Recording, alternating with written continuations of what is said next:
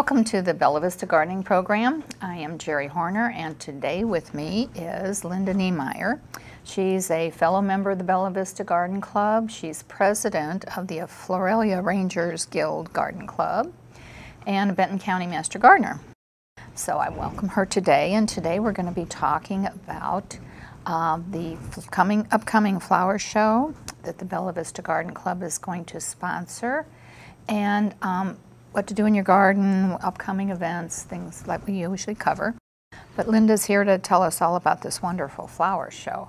But first, I want to tell you uh, about, um, share with you this information that the Bella Vista Garden Club has received two national awards. Again, we keep getting national awards, which is great. Um, one for our garden party we had in 2018, and there was a lot of people there. It was a big event. It was a big event. And we won the national award for the prior one too, but this we won another, won another national award for that. And that's uh, to celebrate National Garden Week and Bella Vista Garden Week that our Mayor Christie proclaims. And uh, so that's the first full week of June.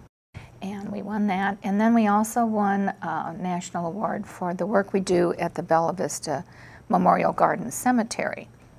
So um, we do a lot of work there, mm -hmm. and it's a beautiful cemetery. It really so, is. And uh, so we really want to thank all of our dedicated volunteers that, that uh, make these awards possible. So that's that's the good news. So, but today we want to talk about our flower show, and this new flower show is called Autumn, no Ozark Autumn Memories. Yes. And we haven't had one for a long time. Jerry and I have worked on flower shows together for probably close to 15 years, yeah.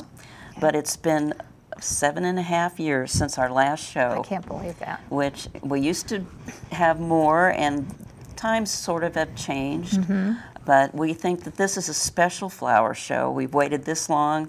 We put in a lot of preparation. I think mm -hmm. it's mm-hmm. going to turn out to be something that people will really enjoy. Yeah, I think it's going to be a wonderful flower show. And the, the location is going to be at NWACC.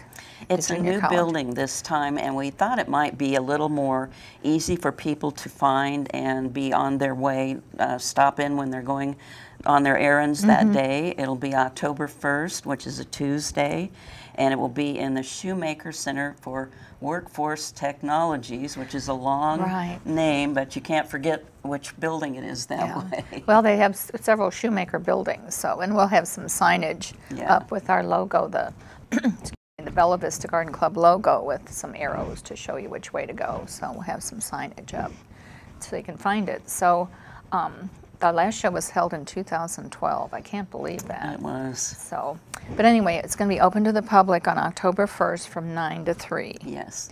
And there's no charge, so everyone's mm -hmm. welcome. Right. And they can just come and visit as long as they'd like. There'll be some people there to uh, help you uh, find your way around the exhibits, mm -hmm. and mm-hmm. there'll be brochures explaining the exhibits, uh -huh. so you can get a little detail about what yeah. each thing uh, really is supposed to be entered as. Okay, so actually it's set up on Monday. Yes. And then it's judged on Monday. Monday afternoon. By accredited AFGC judges. Yes. And um, the uh, horticulture can be brought in by anyone, right? Yes. Uh, horticulture is open to any amateur grower. Uh, the other exhibits are open to members of the Bella Vista Garden Club or neighboring garden clubs mm -hmm. in the mm-hmm. Northwest District.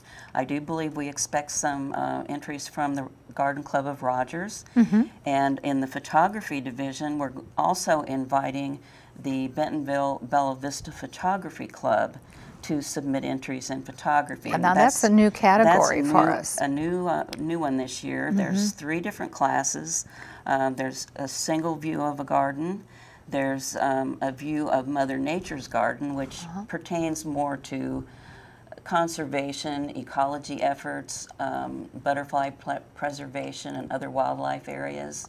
And then there's a series of three, which we hope people will uh, really enjoy that could be um, different times in your garden, maybe different visitors in your garden, different types of butterflies, uh, your pets, your grandchildren, uh, cities you visited gardens in. So there's really a lot of options for that series of three. And, Series of three. and, and that's open to the, the other photography That's club members too.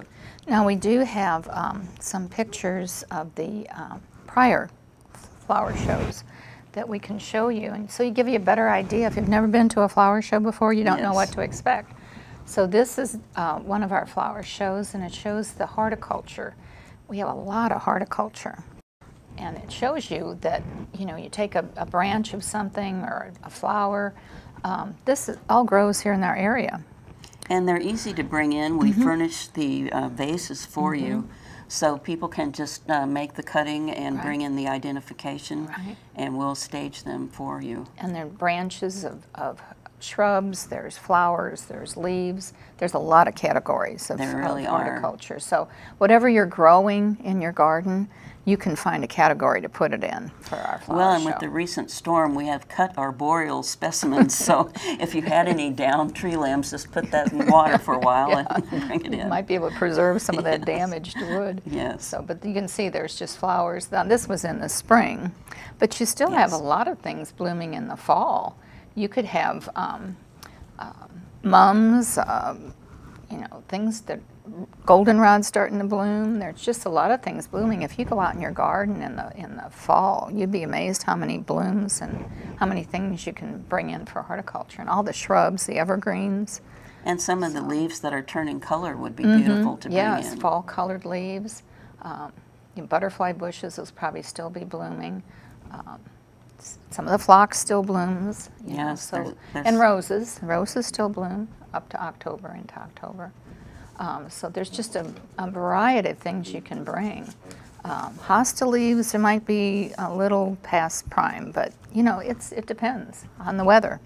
So Well, and there's- hostas. There's um, sunflowers. Oh yeah, There's asters that Right. Mm-hmm. grow well in the fall. Um, and your grasses. and there's several um, container plant categories. Right. So if you have things on your patio, those would be um, probably looking good by now. Now, this was a container that won a, a top prize, and that's lavender in a That- that container. was a It beautiful just beautiful specimen. lavender. So anything you have in your in your home or in your garden that's in a container, Mm-hmm. you know, just have to look at the schedule. We have the schedule on the website and, and to see what the rules are. But all these containers, you know, can be entered. And there's so many different interesting plants. Oh, yeah. You get to learn about plants that you might not have known about, Mm-hmm. and maybe you think that would be perfect for your home or your Mm-hmm. garden. Say, I'd like to have that, right? Because there's some wonderful plants there. And then we also have design. Yes. So the design section is just for um, garden club members, basically. That's true. Because you, you need to know how to put these together. but they're not that difficult. I mean, there, there's a tray design. Um, well, These are some fast. cute These examples. are some cute examples. So they're just a functional little tray, and I think we have this class in this show. We do. So uh, you just need a little uh, design there and then some dishes and just a functional tray that you can pick up and move. It should be stable when you Mm-hmm. move it. And then we also have table designs. This is called um, ex- um, Exhibition tables. exhibition. I- Yes. The word couldn't come out. exhibition tables. That means they're not really functional because you can't eat with the plate sitting up straight. But these are um, exhibition tables that use elements of what you'd use on a table. It uses those elements in an artistic way rather than functional, which is Mm-hmm. What you see here. Right. And so they can be just, these are with backgrounds, and now that background is just a, a round ring. But uh, some, All it's different called themes. a frame. Uh-huh. Frame. This is a frame, and you can see that frame lifts up your design at the top and gives you just more area. Gives it covers the space covers that's you, available. and your your um, your rhythm goes all around. And then this is another um, with a frame, a little different frame. And then there's backgrounds that you can Mm-hmm. put in the back so that your um, design is is um, Shows it off. it shows better. it off. Right, it really does. And then these are more tables. This is a little round table. We had one year.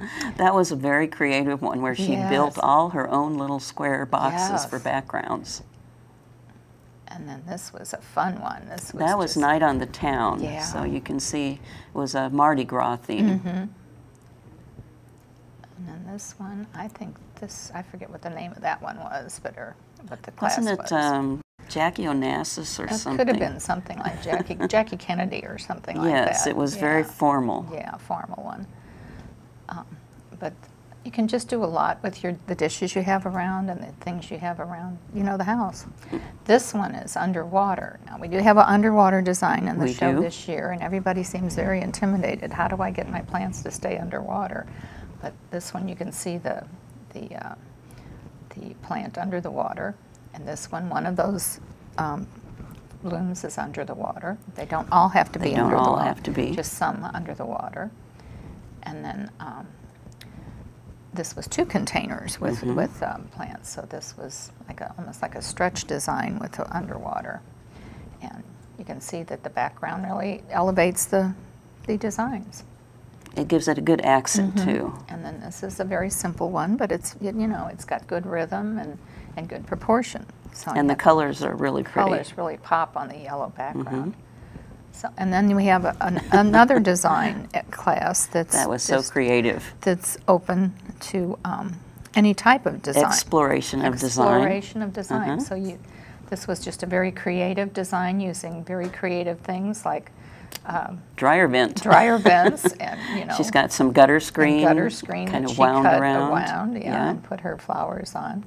Then this one was a um, called a transparency, where you see through something and see Mm-hmm. the design through something. So there's a lot of different designs you could put into that um, into that uh, class.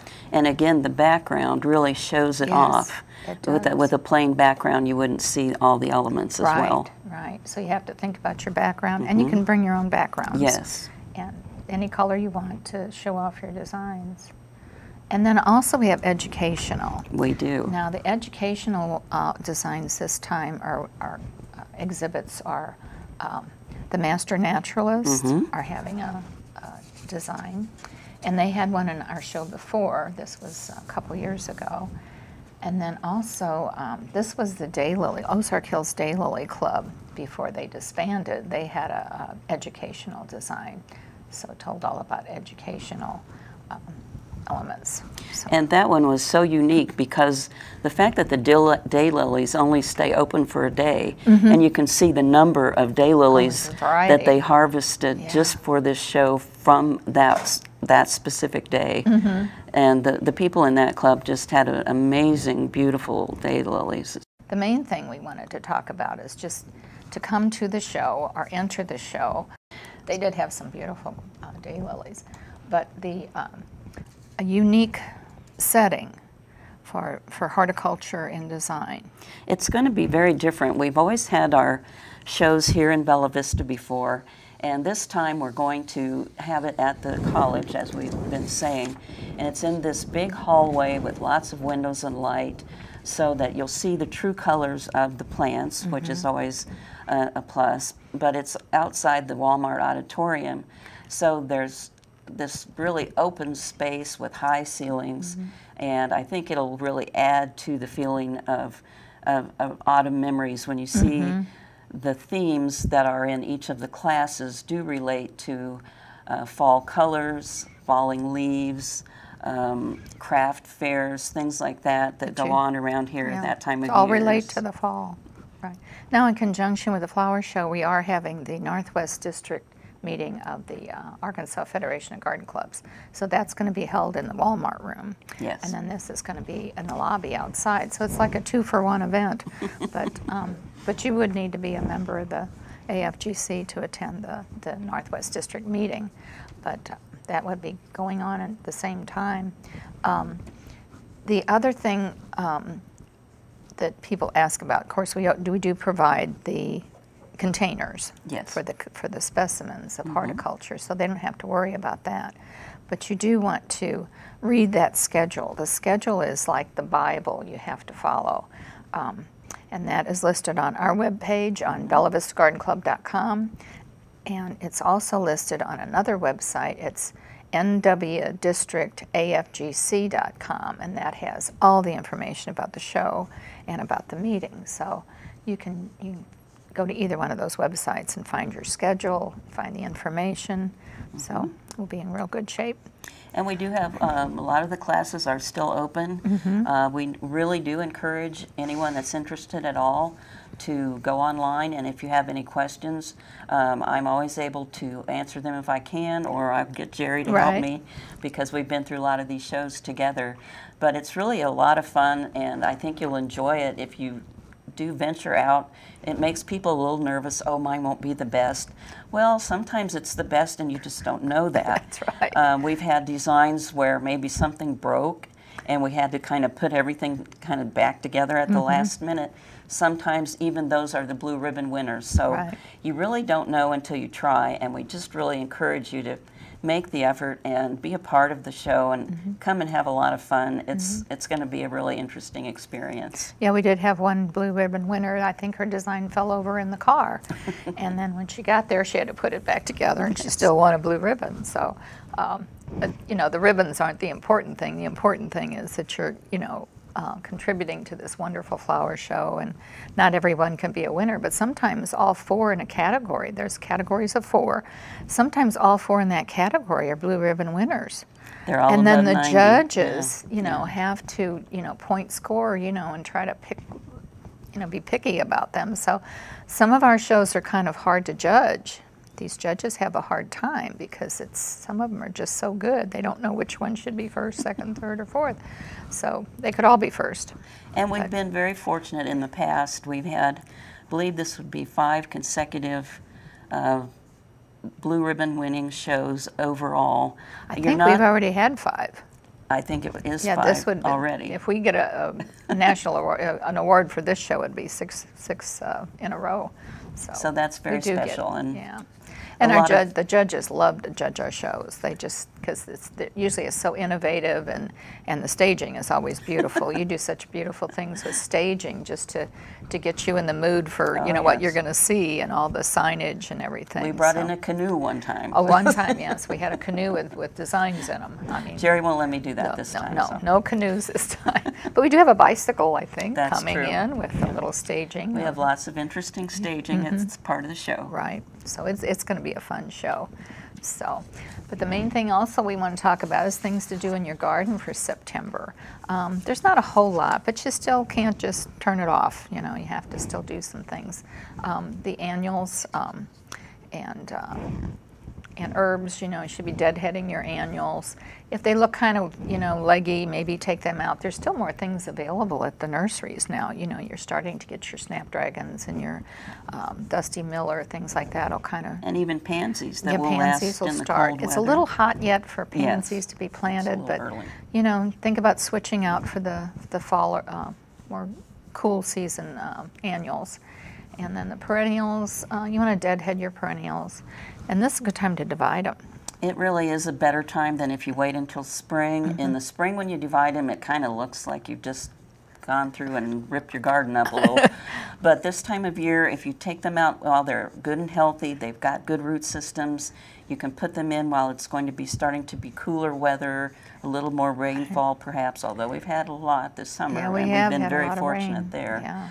But dividing like your iris and peonies especially, Mm-hmm. those are really good to do now and it's a good time to plant anything that you want to relocate in your garden and let them get a little head start before the Right, because the winter weather. time, they're you know they're developing their root system, so then, then they can take that heat in the in the summer. So, and we haven't had too many Japanese beetles. I haven't had very many. Uh, I haven't talked to too many people that have had them on their roses, but they should be gone by now.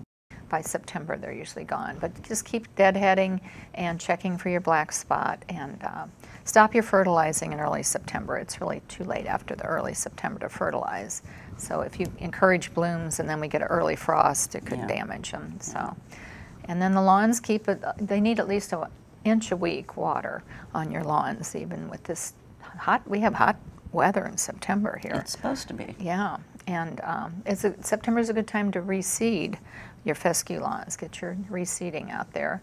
Um, but um, and they said freezing the seeds a few days or so before you um, spread them is does help the germination. I'm not sure if that's true or not, but that's what I had heard from one source. But you can try that and um, apply your pre-emergence uh, herbicides too to control winter weeds. So, And if you're going to be doing any tree planting, um, this is going to be a good time later in September, early October, when the weather cools off. Is, is helps not zap the energy with those leaves trying to get reestablished. Right. And then remember to replenish the mulch around your trees and shrubs, but not right up against the bark. Yeah. Leave leave a small space um, for aeration so they don't get mildew around the base. right, and it also encourages bugs to you know Yes, crawl up the yes. stem, the trunks, and all that. So just kind of leave a little area for the tree 'em to- breathe. Let them breathe a little bit. Um, and then vegetables, we're going to probably um, get start planting your cool weather vegetables. You know, turnips, mustard, spinach, lettuce, uh, radishes. You can plant them till mid-September and have a nice crop in the fall. And um, but you want to also control your diseases in your um, vegetable garden and get it ready for the spring. If you're not going to do a fall planting, you know, just get it cleaned up, remove the old stems, and maybe put a winter crop over it to keep it um, down. Put, and if you pull out your tomato plants, you just want to put them in the trash. You don't want to compost them because they sometimes carry that um, that disease on their lower leaves. Yeah. So, um, but don't forget to rotate your crops too. So if you've planted tomatoes in in a spot this year, you'd want to put them somewhere else next year and just Definitely. rotate. So And if you have any invasive plants, uh, this is a good time to spray them. You can use uh, 20% horticultural vinegar, which is a natural spray. You may have to repeat the spraying, uh, but that will do it. And of course, pulling them doesn't hurt. Yeah. But if any of you have an autumn clematis, they're beautiful in bloom right Mm. now. But when they do set seed, you need to have that cut down and all of those little seeds put in the garbage Oh, because yeah. they will spread all over. they're almost almost considered an invasive plant now. They They're really beautiful, but they can just take over. And um, we actually talked about it at our Master Gardener meeting that some of the clematis, you know, people are just trying to discourage planting it because it, it just can take over. It's The- beautiful, but autumn it's variety is really in the most aggressive, Right. I think. Okay, so if you have any other questions, you can, um, about gardening in September, you can go to the Benton County um, website for the Master Gardeners. Excuse me, it's bentoncountygardening.org, and it's just filled with a lot of gardening information. So if it's too hot to work out in your garden in September, you can go online and get more information. And then, of course, the Bella Vista Garden Club has a great website with a lot of information on it. And um, our meeting next uh, uh, for this month is going to be Wednesday, October 23rd, the fourth Wednesday. and we have a new time this year for our meetings. I have to remind everybody, it's going to be 9:30 in the morning for special uh, social time, and then the meeting will start at 10. And we have pastries and juice and and that in the morning. No, we don't have a lunch anymore, just the pastries. And then um, it's at the Bella Vista Community Church on Yes. Lancashire. We haven't changed the location, just the time. And we're trying something new. It's always good to change and try new things. Well, and that gives people the opportunity to get out in their garden that afternoon. Oh, yes. So whatever you learn at the meeting, you can Right. take right home and That's get right. busy. Yep, that's right. And uh, this meeting, we will be awarding our Bella Vista um, Garden Club Dorothy Wallace scholarships. We have two young men, and I believe they're from the U of A. And um, we were so fortunate to make so much uh, profit from our garden party this past year that we can now give another two scholarships of $4,000 each to these students. So as the college um, costs go up and up and up, these scholarships are so important to, to the uh, students. They really are. So, anyway, that's uh, what we're having at the meeting, and guests are always welcome. Absolutely. We love to have guests at our, our garden club and, and share our information that we want to share. So, thank you, Linda, for joining me today. Well, thank you, Jerry. And I want to, we hope to spread the word about our flower show. It's going to be wonderful. And it's something that uh, everyone should attend. please just, come and uh, please all the- if you yeah, can. Beautiful flowers, and you can see what thrives here and say, oh, I'd like to have that in my garden. So that's a good, good learning experience. So, and I hope you've enjoyed the show. And we'll return next month. And until then, don't forget to stop and smell the roses. 早。